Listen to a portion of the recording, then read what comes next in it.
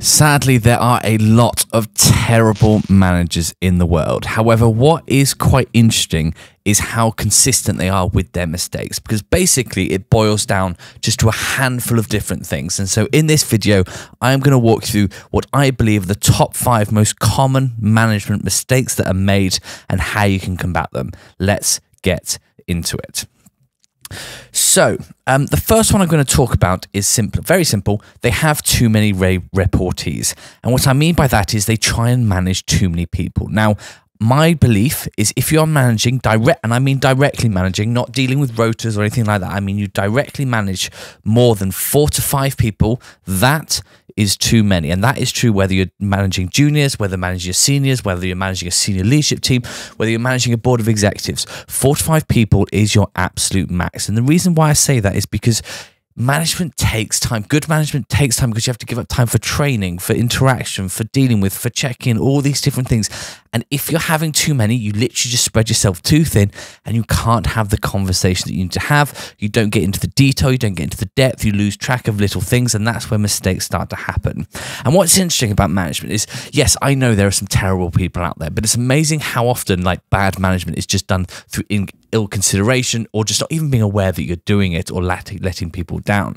And so uh, having too many people, it's one of the first questions I ask when anyone asks me this is, you know, what is my, why am I struggling? All that sort of thing. I say, how many people directly bought into you? And it's amazing when people go, oh, about 12 or 14. Think how often you need to talk to someone to directly manage them and think about how that must be times 14 people across the board. It's just too many.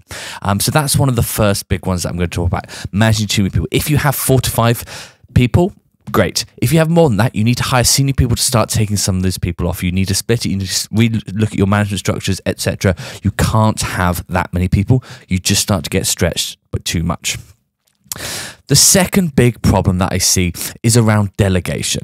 Now, what's quite interesting is I see both sides of the coin here in the sense that sometimes people don't delegate enough. And the problem with that is if you don't delegate at all, you become a real bottleneck where nothing gets done, everything has to go through you. You become an enormous time drag where everyone's basically waiting for you to sign stuff off or check or all that sort of thing. And you have that awful feeling of just being completely micromanaged, which is one of the most dispiriting things ever as an employee.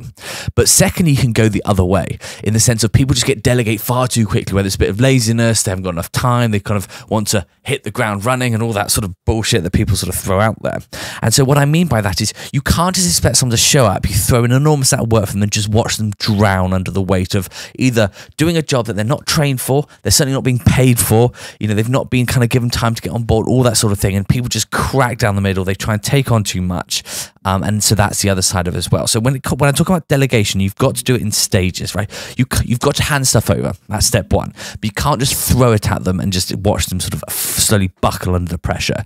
And so what you need to do is actually just start to do it in phases. So step one is so let's talk about an email with a client. Say so. Step one would be right. You write in the email for me. Let's draft it up. I'll review it and see what you think and give you pointers. The second stage of that would be right.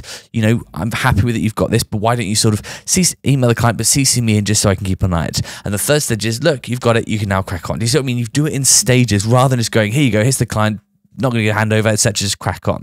Um, and that's where that mistake is. And equally, what you can't have saying, oh, don't worry, I'll email the client, I'll email the client, I'll email the client, because you become too much bottleneck. So delegation, getting that balance right between giving people enough work, but also not just throwing too much at them is one of the key skills of management and where I see a huge amount of people fall down.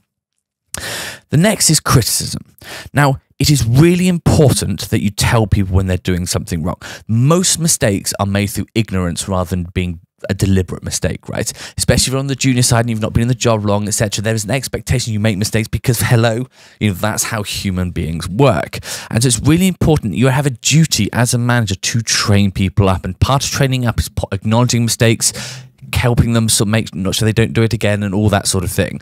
However, where I see people fall down is one managers don't tell people when they're making small mistakes and they let it build up and they let it build up and they let it build up and then it all comes out in the sort of in the wash and everyone suddenly and, and the employees been making mistakes they have no idea they've been made but suddenly it's a huge deal because no one's kind of had that chat with them. The second problem I see is when managers just lose their temper and tell. That's the worst thing you can do. The worst thing you do is emotionally manage someone. And what I mean by that is if you see someone making a mistake, the best way to do it is in your next formal catch up, which we'll come on to. You need to have that conversation where you basically say, look, um, you know, these two or three things you've done really well this week. The one area I would say you need to sort of have a look at is I noticed this has happened a couple of times and this is how we want to do it. Now, if you're not sure how that means, let me know. We're booking time to go through it, or you can speak to someone else or all that sort. Do you see what I mean? You need to tell people when they're doing something wrong because it's just not fair to not tell them. However, you have to do it in a way that you're not shouting, you're not being aggressive, and all that sort of thing, because that's one of the worst things you can do as a manager. So, how you give constructive criticism is one of the biggest failings because either people, like I say, just don't do it and then just suddenly crack and just, you know, just go, oh, they're all just shit or etc., which is just not right. But also, they way too jump on people way too quickly in a temper, being cross, etc., and that's one of the worst things you can do as well. The next one is around having proper conversations regularly. And I mean proper management discussions regularly. So too often people get confused between management catch-ups and like day-to-day catch-ups. Now day-to-day catch-ups is basically what your job what's on the what's on the docket for this week. What do we need to get done today? What do we need to get done this month? Have you done this piece of work? Have you spoken to this client? Have you checked this report, all that sort of all the sort of day-to-day stuff you do. That is not management. That's just kind of part of your job. When I talk about regular management catch-ups, I mean managers about that individual. What are they doing well? What are they doing badly? How's their progression going? Are they happy? Any concerns? Are you, you know, any worries that they have? You know, are they settling with this new team? Are they happy with the direction? Do they feel they're getting enough time with? All these sort of things that literally is a conversation about them, not their work, but about them. Now, my recommendation is you do that once every two weeks. And this goes back to my first point people trying to manage too many people because if you have too many people, you can't do it once every two weeks. And it's really important to have that regular catch up. And I'll explain why. Think about how often people go into annual reviews polar opposites in what they're expecting. People go in expecting loads, much bigger pay rise than they're going to get. People think they might be doing really well when they're not. And you have these weird discussions where you just so clearly aren't on the right page. And the the only reason that happens is because you're not having those regular catch ups every two weeks. You've got to be dealing with all that stuff as the year progresses. You can't just wait for six months and then sort of completely pull the rug out from under them. So it's really important you really think about that because it's something I see people really sort of let themselves down on. It's simply because they're not spending the time to do that. So when it comes to like the big meetings like quarterly reviews, bonus chats, annual reviews, pay rises, etc., you're everyone's already know where you're at, right? You kind of know where you're going to be because you're having all these sort of small micro conversations where you can catch problems before they exacerbate, you know, all these sort of things.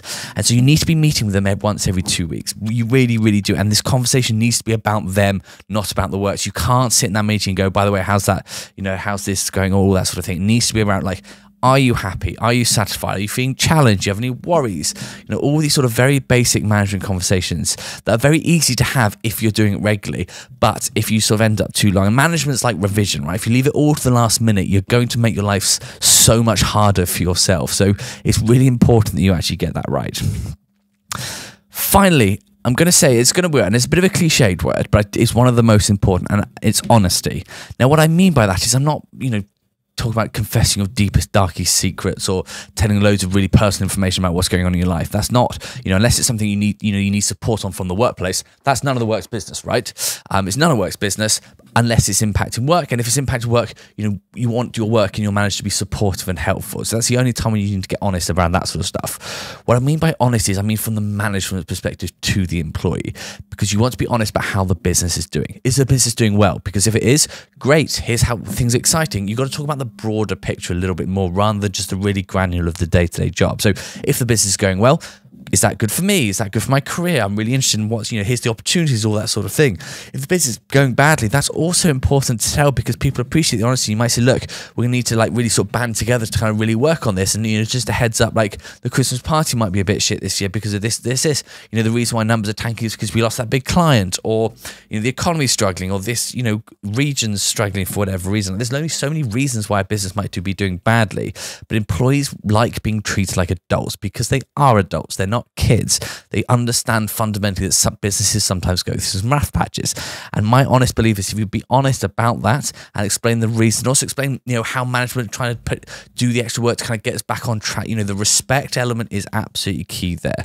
And so I really do think that's an important one. So yeah, it's a really interesting topic. Um, those that, and like I said, it's amazing how when you actually sort of pick through all the sort of awful boss stories and managements, how often these five themes in particular crop up. So it's a really important one. Um, please do comment any further sort of cliches you think there are out there. Um, but yeah, these are the top five from me.